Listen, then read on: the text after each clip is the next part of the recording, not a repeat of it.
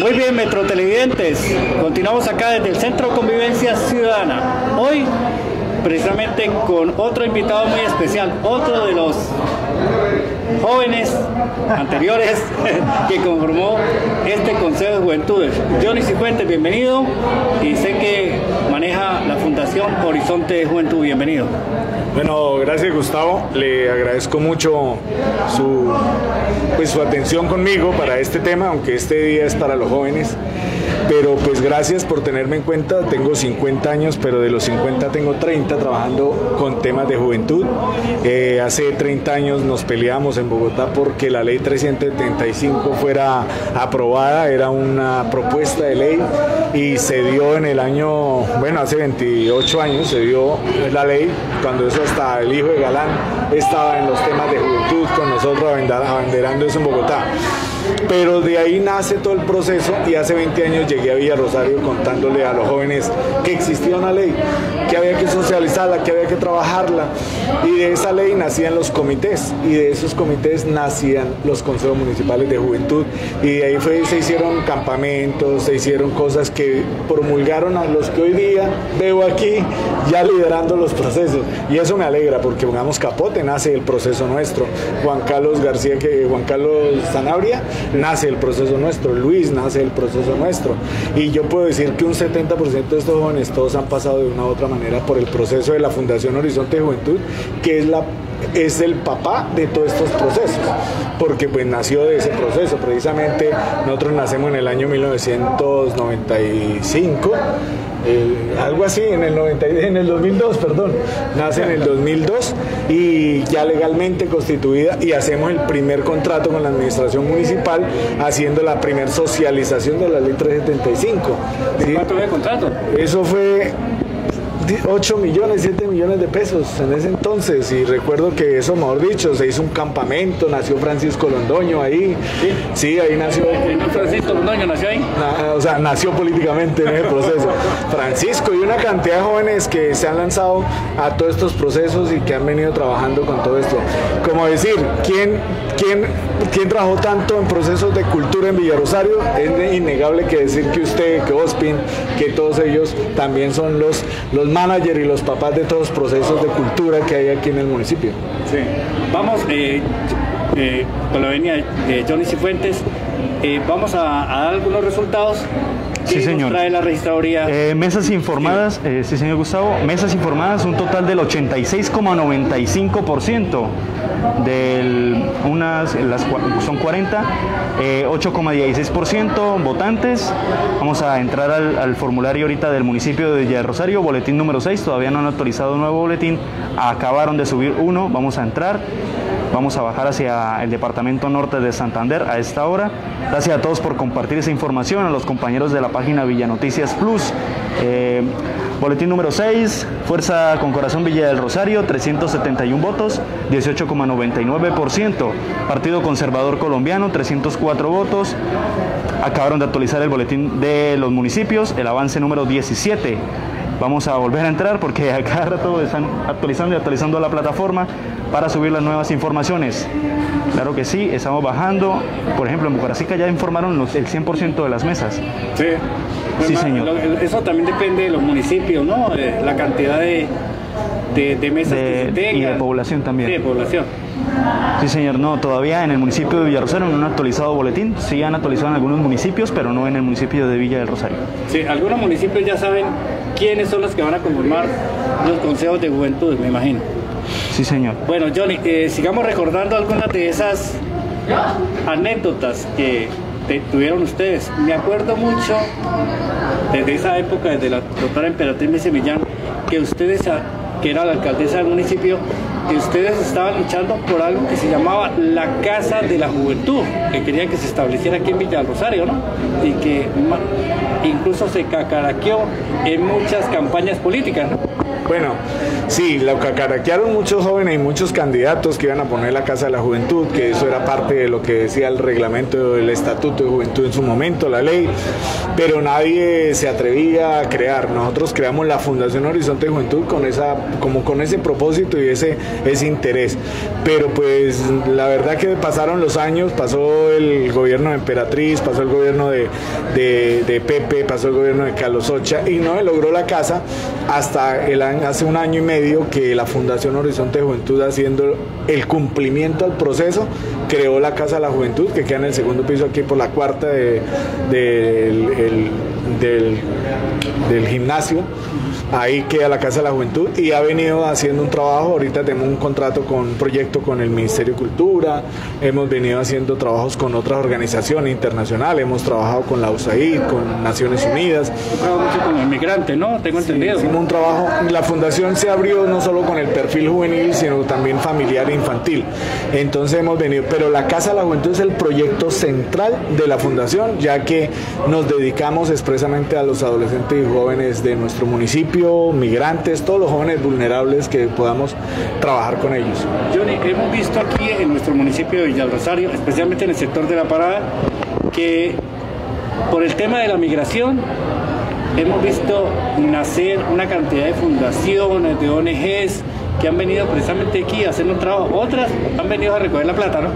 Bueno, ahí sí tengo yo que, pues, eh, me, da la oportunidad de hablar cosas que, he venido yo como eh, denunciando en baja voz, porque pues eh, es doloso que nosotros como organizaciones que tenemos 20 años, 15 años, 18 años, eh, nos traigan organizaciones de Medellín, de Bogotá, de otros lados y hagan contratación directa con ellos y a nosotros nos dejen solo la parte como ah, operativa, o sea, denos los refrigerios y cosas así, ¿sí? Y como si nosotros no tuviéramos la, la capacidad administrativa y logística. Segundo, han nacido muchas organizaciones detrás de la búsqueda del dinero. Esto es un olfato eh, fallido y errado que se tiene en las organizaciones. Creen que crear una fundación, ya la plata va a llegar. No, créame que sostener una fundación en este momento equivale a pagar un contador durante todo el año, pagar un administrador, una secretaria. Si no tiene sede, usted debe tener al menos un teléfono que esté pendiente, tener proyectos muy consolidados. A usted nadie le consignan mil dólares porque sí, ¿sí? O sea, usted tiene que tener una consolidación y esto equivale a un proceso, un proceso. Yo conozco gente que me ha venido y me ha dicho, Johnny, asesórenos para crear una fundación. ¿Para qué la quiere? No, para hacer de todo, ¿no? Hoy en día las fundaciones no pueden hacer de todo y la DIAN vela por eso, la DIAN vela porque usted no haga de todo, ¿sí? Usted tiene que describir muy bien su objeto. Y si usted dice, no, a mí me van a mandar 100 mil dólares de Estados Unidos, usted tiene que decir para qué, a qué, a qué parte del objeto de la fundación va y tiene que comprobar una cantidad de cosas. O sea, esto no es así nomás. Ya la gente se mete en crear una fundación. Yo decía, hace un año, yo le decía a alguien que me decía que iba a crear una fundación, le dije, mire, yo hace 20 años tuviera la experiencia que hoy en día tengo, no hubiera creado una fundación. Yo hubiera creado una empresa con servicio social. Sí, Así lo hubiera creado. Segundo, yo creo, y para mi parecer, una fundación hoy en día la deben crear la gente que tiene dinero. Personas que tienen dinero. Porque las fundaciones tienen tres cosas. Vocación, profesión y economía. Financiamiento. Si usted no tiene dónde financiar, muy difícil sostener un proceso. Entonces se vuelve usted un limonero con una, con una cámara de comercio. Y eso pues es lo que hace que las fundaciones estén mal vistas. ¿sí? Pero, pero, aquí en Norte de Santander, especialmente aquí en esta zona de frontera, hasta el momento que yo haya hecho la investigación, hay más de 43 de fundación, ONGs que han recolectado fondos, que uno se pone a mirar, los pobres migrantes llegan y no tienen quien les dé la mano, ¿cierto? Hay, un pequeño detalle, Gustavo, que ahí es donde yo tuve una entrevista con, en México, que me hicieron con México, sobre este tema y me decían que por qué los fondos que llegan, pongamos a las organizaciones, a veces no se ven, porque no lo están haciendo de una manera eficaz. Un ejemplo, se llega un dinero, pero a usted la organización internacional le dice cómo gastarlo y cómo una organización internacional desde España, Suiza, Estados Unidos dice cómo ejecutar algo que el territorio no lo necesita, que fue un estudio hace cinco meses. Entonces ahí es donde está la falla. Cuando viene el gasto del dinero se hacen gastos innecesarios, pero toca gastarlo y toca legalizarlos. Entonces se legalizan, se toman la foto y se hacen el trabajito, pero no es lo que realmente eh, va a ser visible a la necesidad propia del momento. Entonces, están olvidando a los actores. Le voy a decir que en el GIFEN y la alcaldía y todo esto se reúnen para hablar de las problemáticas, pero nunca convocan ni a los medios de comunicación locales, ni a las fundaciones, ni a los que estamos en la región para decir, mire, las problemáticas reales que estamos viviendo son estas. Sino que ellos allá se inventan y luego dicen, vea, esta plata es para esto y de esta manera. Pues entonces así no se van a solucionar las cosas. Sí, no conocen la realidad nuestra. La problemática nace de la realidad de la comunidad, de ahí nace la, la, la problemática y de ahí nacen las oportunidades y lo que se pretende hacer. Tenemos Eh, datos? Gustavo, vamos a ver el avance número 19 del Departamento Norte de Santander, el número de mesas informadas y de votantes, el porcentaje y el número de votantes por municipio del departamento. Ábrego, mesas informadas, el 100%, las 12 mesas, votantes 1802, el 20.82% en el municipio de Ábrego. Bastante baja la- la- el porcentaje. Arboledas, mesas informadas del 100 por- ya el 100%, de 4 mesas informadas, votantes 433, el 18.44%. No llegan al 20% de, mesas y de votantes en, los municipios. Bochalema, de las 5 mesas que hay informadas, ya se completó el 100%, votantes 382, 13,88%.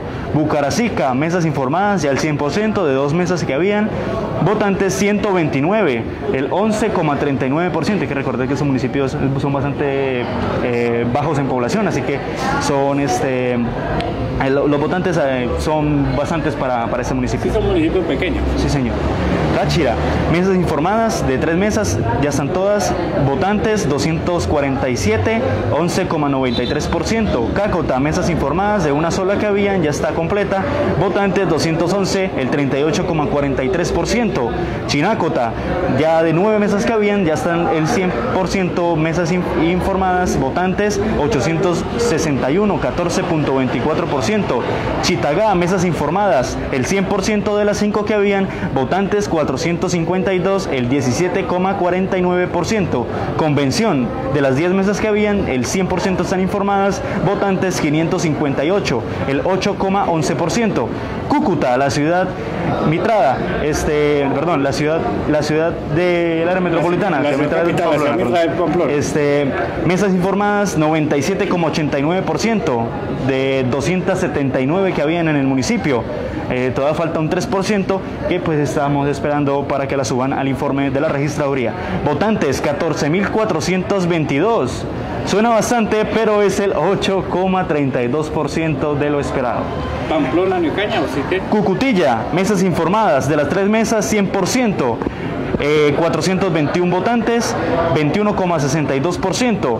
Durania, de las mesas informadas, de las cuatro mesas que habían, 100% informadas, 408 votantes, el 17,99%. El Carmen, mesas informadas, de las seis que habían, el 100% están informadas, votantes 605, el 18,1%. El Tarra, mesas informadas, de las 10 que habían, el 100% están listas, votantes 309, el 4,57%, muy poca, muy poca, 4% de los, del 100.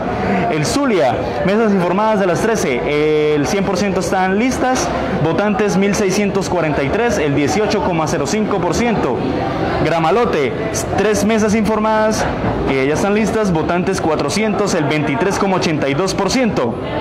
Acarí, mesas informadas, del 100% las cuatro están listas, el votante 240, el 9,20%. Erran, de las tres mesas que habían, el 100% están informadas, votantes 157, el 10,47%.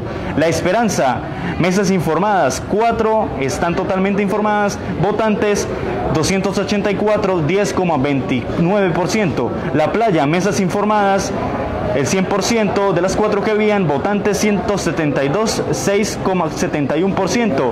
La Bateca, tres, por, tres mesas informadas, el 100% están listas, 316 personas votaron, el 19,65%. En el municipio de Los Patios, el municipio vecino, 95%, 95.16% mesas informadas, un total de 56, el votantes 4.930, el 12,34%. Lo Urdes, mesas informadas 100%, de dos que habían, votantes 43,0, 43% de 547 personas votantes. Mutiscua, 100% de las mesas informadas, que eran dos, votantes 209, un total de 23,19% del porcentaje. Ocaña, mesas informadas de las 46 que habían, 100%, votantes 3.645. Según lo que estoy viendo, hay más votantes en Ocaña que en el municipio de Rosario. Este, eh, votantes 12,82%. Pamplona, mesas informadas 29, el 100%. La ciudad mitrada. La ciudad mitrada, ahora sí. La mitrada es lo que cargaba precisamente, o carga el, obispo o el, arzobispo. Votantes 2,2, eh, perdón, 2.291, un porcentaje del 11,20%. Pamplonita, dos mesas informadas, el 100%, 238 votantes, el 24,5%. 56%.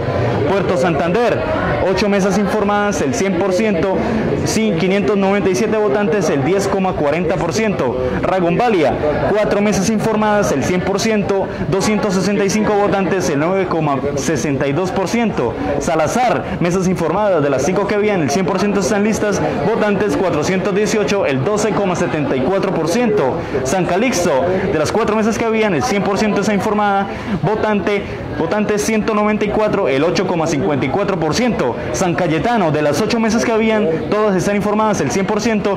Votantes 661, el 12,54%. Santiago, de las 3 mesas que habían, el 100% están informadas, el de número de votantes 191, el 10,62%. Sardinata, de las 12 mesas que habían para ser informadas, el 100% están listas, votantes 734, el 9,14%. Eh, silos, mesas informadas, de las dos que habían, el 100% están listas, el número de votantes fue el 155 personas y el 3 fue el 13,06%.